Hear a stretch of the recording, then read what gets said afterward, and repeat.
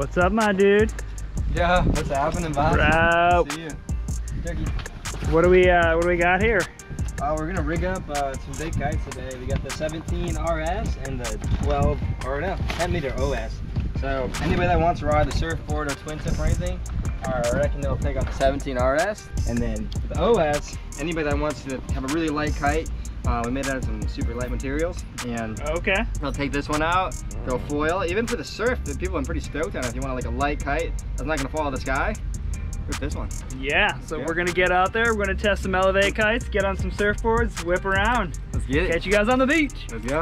Yo, what up guys? So we just got done with the Eleveight demo. Chris Bobrick brought all the kites out. We got to get our hands on some of the Lightwind kites. So just got off the water on the 17 meter RS and I wanted to do a review on that kite, break down kind of where it fits in with the other light wind kites.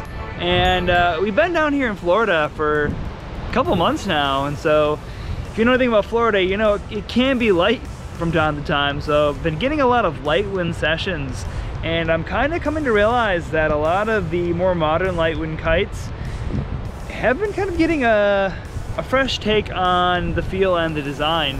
And I was kind of surprised by the, uh, the RS and how it responded and how it felt and uh, talk with some of the other locals after trying it, like uh, my buddy Steven down here, just getting some perspective.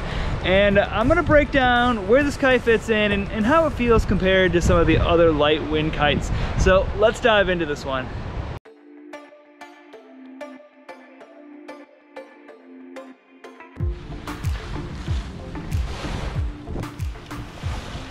So all right, with the Eleveight RS 17 meter, this is a really fast 17 meter kite. And that's kind of a funny thing because I've been doing a lot of videos right now about the Lua kites and speed. And this kite, it's not as direct as those kites, but it is super fast. So the RS, it kind of has a unique feel in the sense that it doesn't feel like uh, what I would expect out of like a grunty, super powerful light wind kite. Um, I would say that it's probably a bit less powerful than a turbine or a Contra. Definitely doesn't have anywhere near the bar pressure of those kites.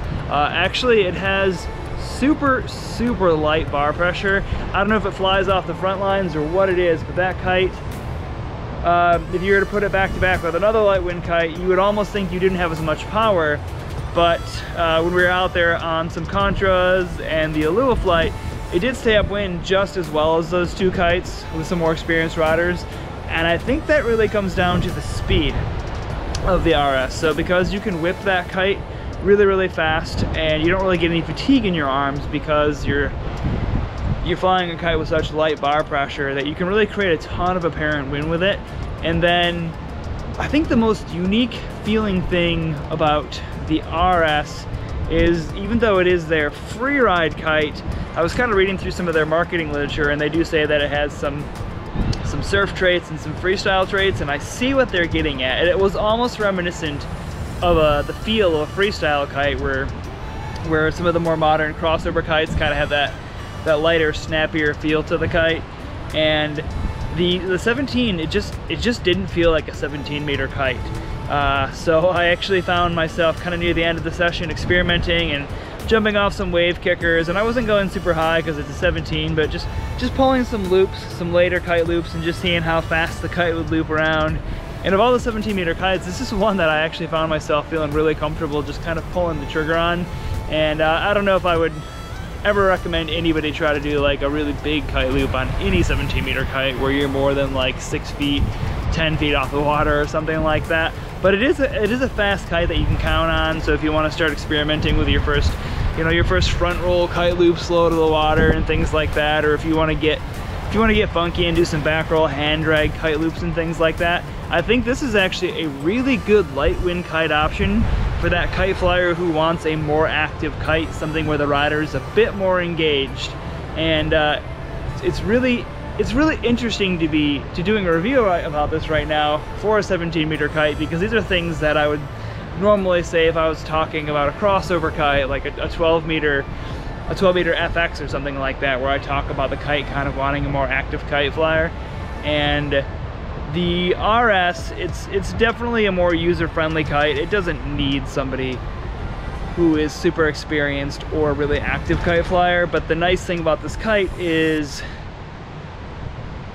you can fly it fast and you can bring those things to the table. And I, I think of all the light wind kites, it's almost like a, a springier, faster version of maybe say like the Contra. So I've often talked about like how the turbine, it's you know, really powerful and super grunty and has a ton of forward pull. And then the Contra, it was kind of a, a, bit lighter bar pressure compared to the turbine, but it was a bit faster, maybe a bit more versatile like that kite.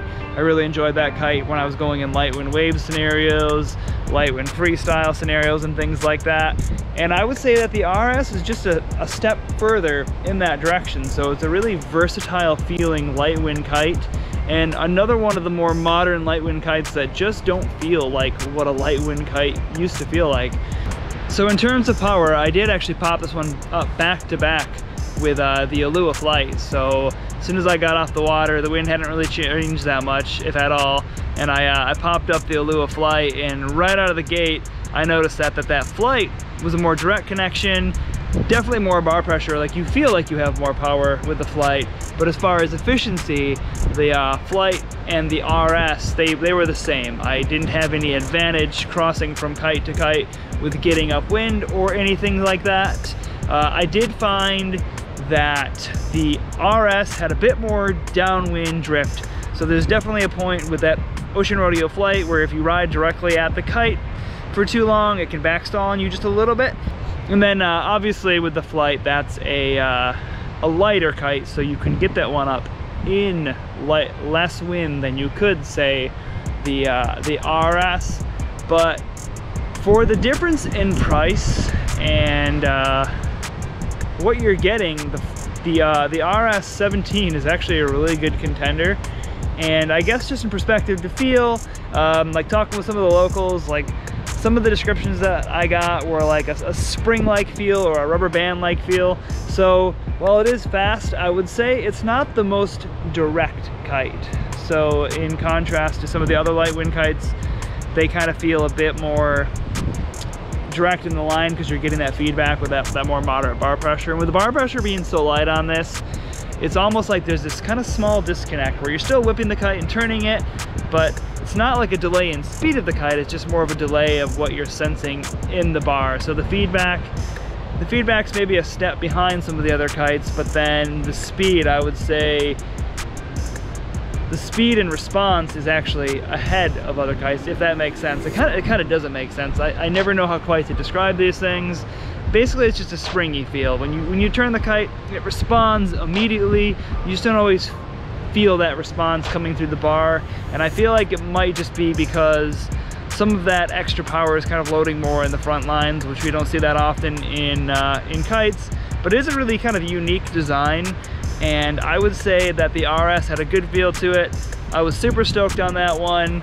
Um, if I were going to pick a light wind kite for a personal quiver, I would be really happy to have that one. I think it's got a lot of potential for somebody who just wants to get out there and go rip around and in ride in those light wind scenarios who doesn't mind not having uh, a ton of grunt to their kite and wants to have something that's a bit more active and a bit more, I suppose, I suppose performance minded is the right word. I don't like using the word performance in reviews, but yeah, we'll, we'll go with that. I feel like the RS is kind of for somebody who is a bit more performance progression minded, wants to get out there in waves, wants to do a little bit of light wind freestyle, wants to do, wants to do more than just cruise around and just have tons of power in light wind. So if that sounds like you, I think this would be a good fit. So if you guys, if you found this uh, useful, please give it a thumbs up. Don't forget to subscribe. If you have any questions about this kite, let me know in the comments. Happy to answer and uh, we'll catch you next time.